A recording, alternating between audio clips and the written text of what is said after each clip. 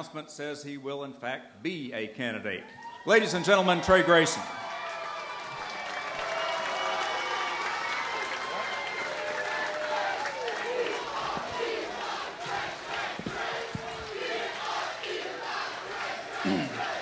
Thank you, Al, for that introduction. It's great to be back for my eighth consecutive Fancy Farm picnic.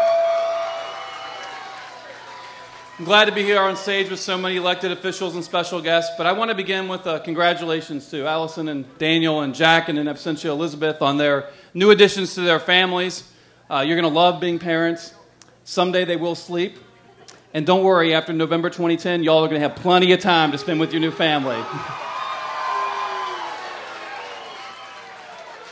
It's a great honor to serve as Kentucky's Secretary of State. Wherever I go, I'm always proud to say that I am a Kentuckian. And lately, I've been even more proud than usual. You see, in Kentucky, it seems, we tend to figure things out a little faster than the rest of the country.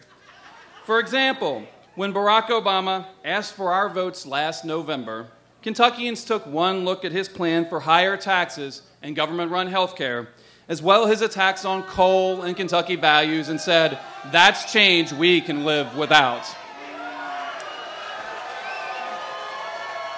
That's because Kentucky knows better. Unfortunately, the rest of the country took a little longer to figure this out. They put Barack Obama, Harry Reid, and Nancy Pelosi in the driver's seat, and now they're driving this country off a cliff. First, first thing they did, they passed a stimulus bill without giving anyone a chance to read it. As a result, our debt will double in five years. Taxes are likely to rise so high you'll swear you're in France. The only thing that bill stimulated is the unemployment rate, which is now 11% in Kentucky.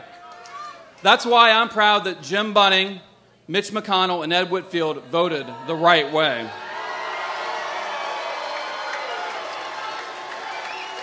Proving once again that Kentucky knows better. Next, their so called cap and trade bill is really a new energy tax levied every time you start your car or flip on a light switch.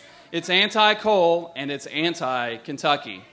Cap and tax, that's a better term for it, it will cost Kentucky farmers and business owners over $5 billion over the next decade. That means higher utility bills, fewer jobs, and less take home pay. But that's a liberal for you. They'd rather punish hardworking Kentuckians than force China or India to deal with their own environmental messes. That's why, as your U.S. Senator, I will never vote to put Kentucky's economy at a competitive disadvantage to the rest of the world. I have a better idea. How about we cap federal spending and trade this bunch in Washington for some folks who understand that we can't tax our way to prosperity?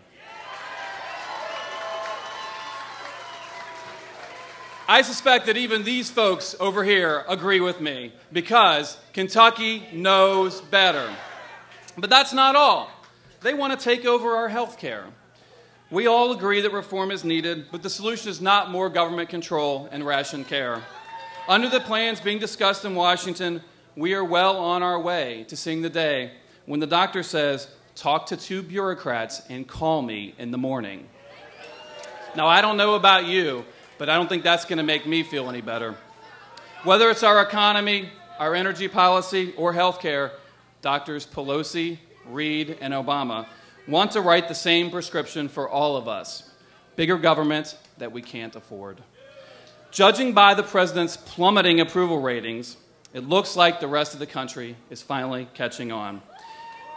It's clear we need a real check and balance in Washington. I am confident that we're going to keep this seat in conservative hands next November because Kentucky knows better. Kentucky knows better, that's right.